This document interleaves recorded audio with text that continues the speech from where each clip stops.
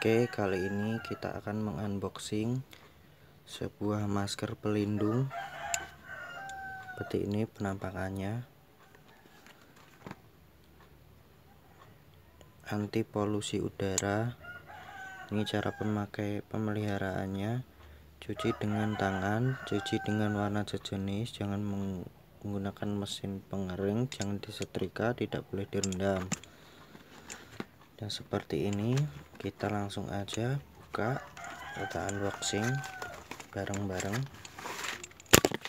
Oke oke oke. Maaf tadi ada kesalahan. Nggak tahu kenapa tripodnya jatuh. Oke seperti ini maskernya Scornines mereknya bahannya tebal. Harganya terjangkau ini untuk anti polusi udara kalau kita berkendara naik sepeda motor. Oke sekian dulu dari saya. Terima kasih